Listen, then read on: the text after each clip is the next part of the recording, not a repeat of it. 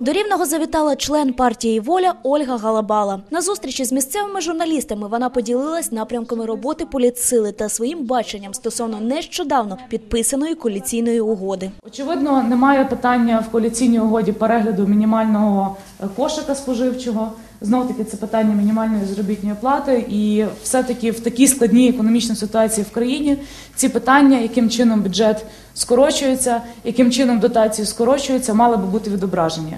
Е, Дуже багато питань виникає фінансування тої самої податкової адміністрації, тому що 15 мільярдів з бюджету витрачається на фінансування податкової.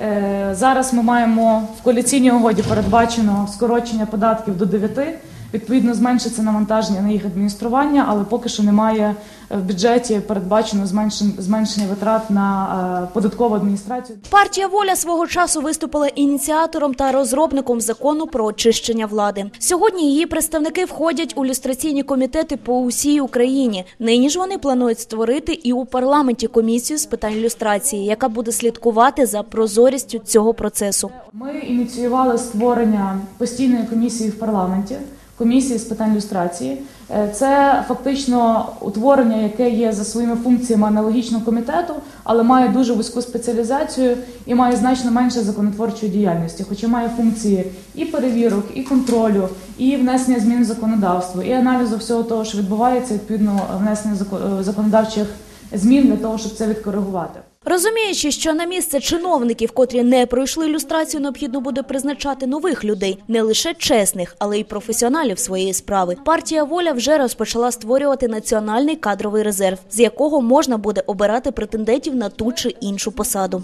Я вже хотів би вам представити е, номер перший е, в, нашій, в, цій, в цій програмі по Рівненщині пана Юрія Пелеха, Юрія Володимировича, який є завкафедрою суспільних наук університету водного господарства та природокористування, який був пролюстрований люстраційним комітетом, який виявив бажання отримати е, посаду е, очільника освіти області або іншу гуманітарну е, посаду керівництві е, краю. Нині, готуючись до майбутніх місцевих виборів, воля активно створює місцеві осередки у різних регіонах України. Не винятком є і Рівненщина. Саме до таких осередків кожна людина матиме змогу принести скаргу на неправомірні дії того чи іншого чиновника.